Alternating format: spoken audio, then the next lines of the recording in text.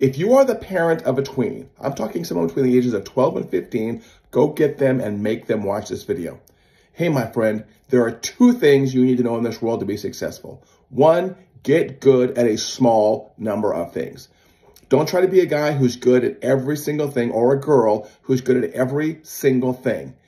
Get good at a maximum of three things max, okay? Three things.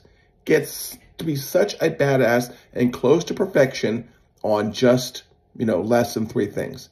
Number two, most of what you see on the internet and on TV is fabricated, it's fake, its goal is to get your attention and control your mind. Not saying people are mind control experts, but most of it's marketing.